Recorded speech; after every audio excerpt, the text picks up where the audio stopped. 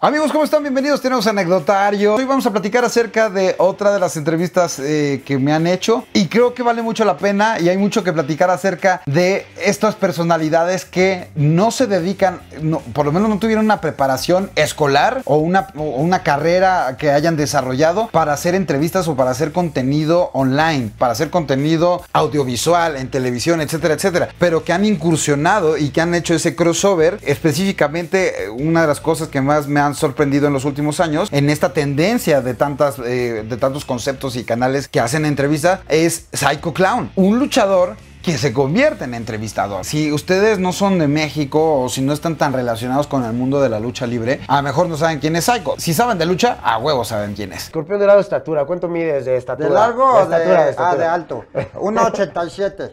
1,87 de estatura. Estás alto, mi escorpión. Huevo. Es un cuate que viene de familia de luchadores y la primera vez que, que lo vi fue en alguna cobertura que yo hice de lucha y hubo buena onda. Bueno, primero, la primerita, la primerita fue en una función de cine cuando él era parte de los payasos del mal, del demonio, del infierno, del purgatorio o algo así. Y no atacaban uno contra uno, sino en bolitas, siempre en tercias. Ahora eh, la carrera de esos tres ya no son tripleta y los tres han desarrollado una carrera bien chingona, específicamente en el ring. Pero otros tantos, como el caso de Psycho, también le han metido a la parte de las redes sociales del contenido digital. Tú eres como un sueño y yo tan solo soy un pobre soñador. Más adelante ya lo topé cuando la AAA lo quería hacer estrella. Eh, como se los digo, él viene de familia de luchadores, su papá es eh, super porky. Y entonces, pues bueno, sabe la disciplina que se requiere en este deporte, en el deporte de la lucha libre, y le ha metido con todo. Pero ha sabido también combinarlo con otras facetas que le interesa desarrollar, como el caso de las entrevistas. Hay que decirlo,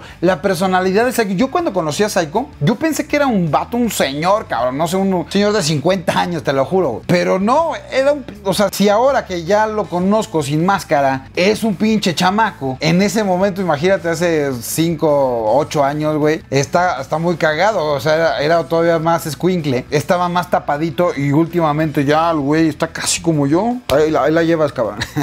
no, ya la ha metido al gimnasio y demás. Y además es parte de esta banda que le gira la piedra. O sea, a ver, si alguien se quiere ofender, es su pedo. Póngase el saco quien quiera y quien no, no se lo ponga. Pero hay mucha banda del deporte en general, no nada más de la lucha, del deporte en general, que bueno, su, su especialidad obviamente es hacer bien su deporte. Y eso es lo que se les exige, que en su disciplina, en su deporte sean chingones y que entrenen y que demuestren ahí en la cancha, en el ring, en donde sea, que sean chingones ahí. Lo demás es extra. Entonces nadie está pensando, nadie está esperando que un deportista tenga facilidad de palabra, sepa actuar, sepa conducir, sepa entrevistar. Y es evidente cuando los ponen a hacer eso y no le saben y se ven ridículos, y se ven tontos y se ven ignorantes de ese tema. La excepción o lo sorprendente sería que sí supieran hacerlo. Hay algunos que sí lo saben hacer y hay otros que es evidente que se sienten súper incómodos cuando lo hacen. El punto es que Psycho es de esta banda, de, de estos eh, luchadores o de estos deportistas que le gira la piedra más allá de darse chingadazos y de ser unos atletas y de entrenar. Más allá de eso, le gira la piedra. Puedes tener un nivel de conversación con él chingón, puede hacer entrevistas bastante decentes y puede tener un criterio eh, eh, suficientemente amplio para hablar de diferentes temas y para relacionarse con un mundo que no sea específicamente de los que muchas veces se encierran en su circulito y no quieren darse cuenta que hay un mundo fuera de él. Psycho es de esas grandes excepciones chingonas que puede hacer más cosas fuera de la lucha. Entonces está poca madre y él lo sabe y tan lo sabe que buscó la forma de asociarse y de crear contenidos él siendo el host de su propio programa de televisión online donde entrevista a sus invitados que eh, por lo general tienen que ver de alguna u otra forma con la lucha libre. Y me invitó. Ya me había entrevistado en la época de pandemia y lo hicimos a través de Zoom. Ya ahora en esta época ya hay más apertura para hacer entrevistas presenciales. Pues me invitó y dije, cámara, va, jalo. Oye, Escorpión, ¿cómo decidiste usar esta ma- ¿Entrenaste lucha libre? ¿Por qué?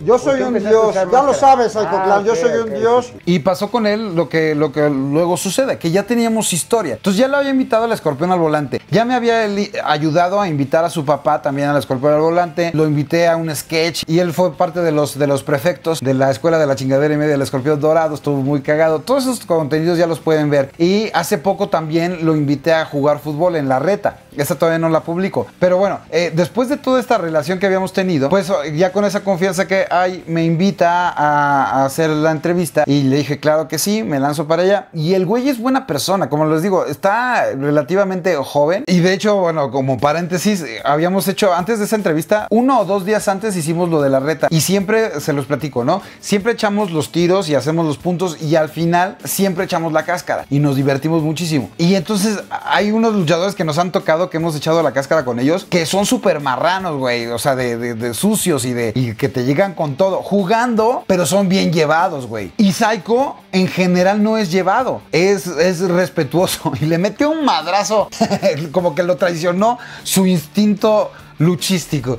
Porque le hace una jugada a Manu y se le va y le mete una patada a Manu. Muy cagado, muy cagado para nosotros que no nos la dio, ¿no? Que nos reímos. Y yo me reí porque vi a Manu en el piso después de que Psycho Clown le había dado un madrazo. Allá ni siquiera tenía máscara. Entonces, pues no es como que ni siquiera estábamos grabando, sino que le salió del alma esa caña que le hizo a Manu. Pero es buena persona, güey. Entonces está muy cagado eso, que, que lo vi como se apenó, güey. Pues, por lo general, los luchadores que son manchados están muy orgullosos de lastimar a alguien. Pero él no. Él entiende que debe de haber un respeto este, a su profesión y, al entrenamiento que él tiene y que obviamente lo que él le puede hacer a una persona que no se dedica a, un deporte este, de contacto físico, pues eh, le puede lastimar. Entonces estaba todo apenado el güey. Nada más les, les platico estas eh, anécdotas para que se den cuenta el tipo de personalidad que tiene Psycho. Ya en el ring es otra cosa. Se agarra con los más cabrones. Y hay veces que no solamente se arman los madrazos en el ring, sino afuera. Y este güey no es bueno nada más para hacer las llaves y los vuelos, sino también para agarrarse un trompo así cantado de frente.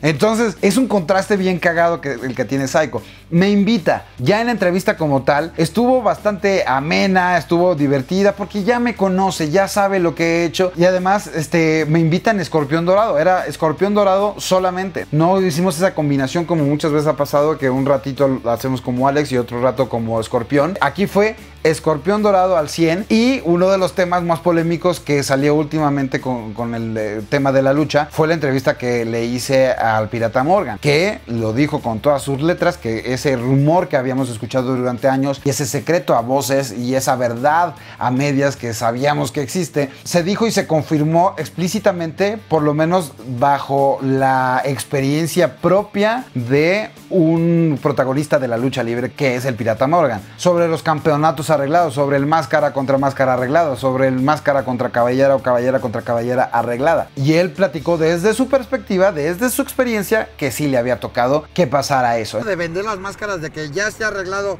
quién va a perder la máscara, tú que sí tienes huevos, ¿nos puedes decir si es cierto o no? Mira, te voy a decir como me dicen muchos güeyes, oye pirata, ¿tú por qué siempre cuando aprestas la cabellera la pierdes? Casi, casi todas las he perdido, ¿no? ¿Qué te vendes? No, güey, mira, nomás me he vendido una, dos, todas, güey. Entonces estuvo chido porque Psycho, yo, la neta es que un aplauso, güey, porque me hizo una entrevista que se basaba un poco en, esta ficción de humor que es el personaje, que lo ha dicho mil veces el escorpión y yo se los he dicho a nombre personal sin máscara explícitamente. No soy un luchador, nunca me he subido a un ring a romperme la madre y tampoco es mi intención ser luchador y subirme a un ring a romperme la madre. Si alguna vez lo hice o lo hago es dentro de un contexto de ficción y de desmadre y con gente que sepa de qué se trata el entretenimiento. Pero el escorpión dice que es un superhéroe y que bueno, la máscara tiene que ver con eso, pues porque así es, güey, pues también Spider-Man y es por mucho tiempo el Capitán América y Hawkeye y muchos otros superhéroes han tenido máscara como, como Batman y como Robin y como Fabulman. Bueno, ahí está el escorpión dorado. Entonces, este es otro antihéroe, sarcasmo y, humor negro y parodia de, superhéroe que eh, yo interpreto a través de esa máscara. Entonces estuvo bueno porque se aprovechó para establecer eso y hablar sobre esa referencia luchística, pero hacer justamente esa división entre lo que es un luchador y el personaje de comedia que es Escorpión Dorado. La gente de repente confunde que traigo máscara de luchador, pero no, así, así me veo yo así es mi piel y más bien es como de un superhéroe. Pero no solamente se preguntó eso, no solamente me preguntó esta parte eh, que él conoce que yo ma- manejo y que a él le queda muy claro, pero que lo quería exponer ahí en el público sobre la psicología del personaje. No nada más eso, sino también me cuestionó acerca de por qué, lo que, lo que muchos luchadores dijeron en ese momento, por qué yo le había preguntado eso al pirata Morgan. O sea, sí hay que hablar de la lucha libre. En vez de andar, eh, no sé, yo pienso, ¿no? En vez de andar investigando cosas de, de, por ejemplo, de cuando, de lo que le preguntaste al, en este Pirata caso, al pirata Morgan, ¿no? Que eso para algunos ensuciaba la lucha. Que por qué, lo, por qué quería estar viendo.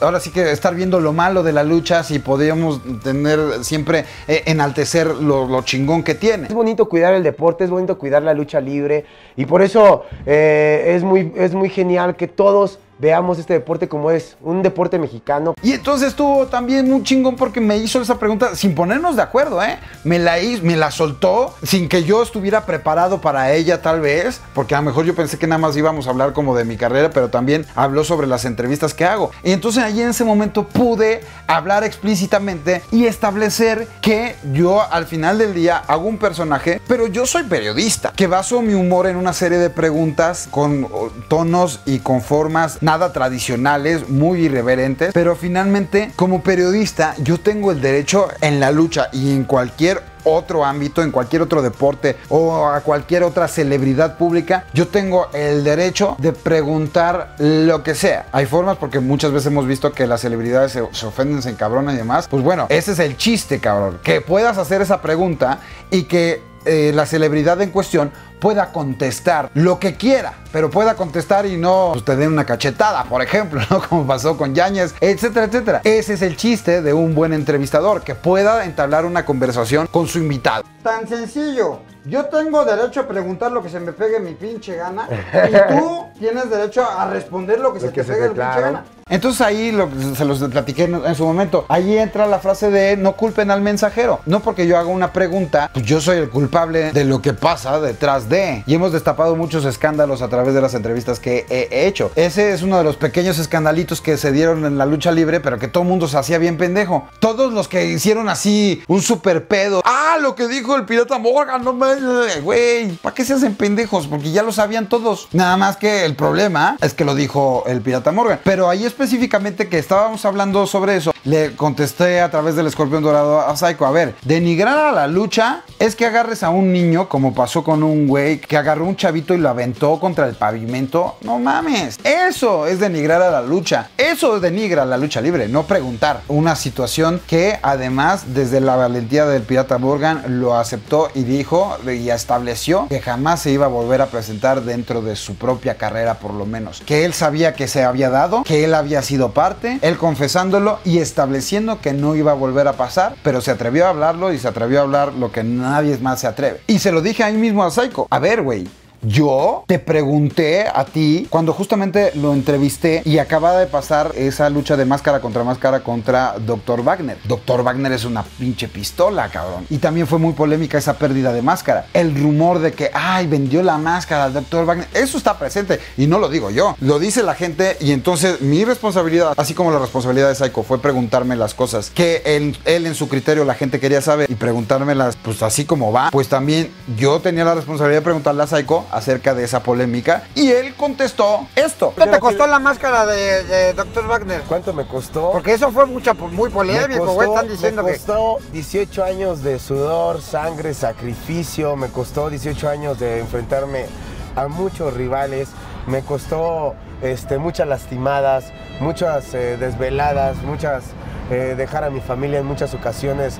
eh, Ah, días- ya vas a llorar. No, sí, Eh, ponga, dale un pinche pañuelo. Canción sentimental, canción sentimental. O sea, ni a él ni al pirata Morgan le hice manita de puerco para que contestaran lo que contestaron. Cada quien contesta lo que quiere. Yo te pregunté lo mismo. Sí, sí me lo ¿Y hubo preguntaste. pedo? No, no, no. Pues no, porque bronca. no dijiste las cosas que dijo el, este, el- el pirata Morgan. Y ya, es cuestión de ustedes creerle a uno o creerle al otro o no creerle a ninguno de los dos. Y así son las cosas. El punto es que la conclusión es que me gustó mucho que eh, Psycho Clown, a, a a pesar de no ser una persona que se dedica a hacer entrevistas, puede estructurar una pregunta y puede entablar una, una plática y hacer estos cuestionamientos que tienen que ver, sí, con cosas que yo me pueda sentir orgulloso de platicar y cosas polémicas que a lo mejor yo puedo sentirme incómodo, pero no le importó y con respeto y con profesionalismo me planteó la pregunta y yo se la contesté. Eso está poca madre, entonces me la pasé muy bien en esa entrevista. Estaba este chavito, ¿cuántos años tendrá, güey? ¿10? ¿11? Por ahí, este chavito que, que se puso una máscara y,